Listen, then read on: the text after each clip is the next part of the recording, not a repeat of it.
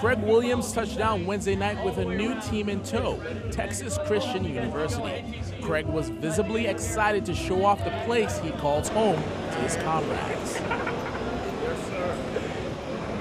He's no stranger to basketball fans in the territory. He had an outstanding career at Central High School on St. Croix, which earned him a scholarship at Temple University.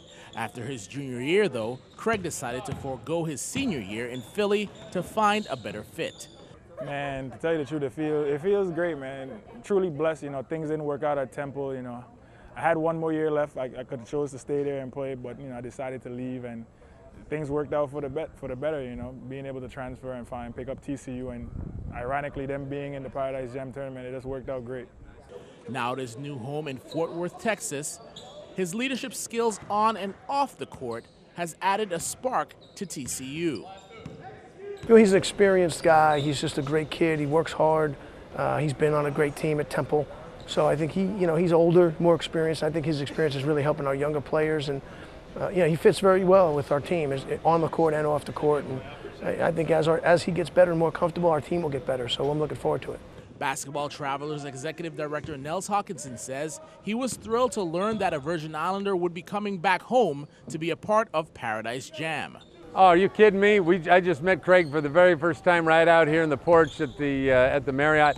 He's fired up. I mean, he, I, I, when I was, gave him a little hug, gave him a little fist bump, I saw all, you know, 32 of the teeth he's got. He's smiling, he's so proud, he's so excited. I told his teammates, feed the brother the ball. We want to get him. We want to set a scoring record. It's been a whirlwind of media attention for Craig, but if that has added any pressure, you wouldn't be able to tell. He's just excited to be here to play in front of Virgin Islanders and also his friends and family who will make the trek over to St. Thomas from the Big Island to see the big man play.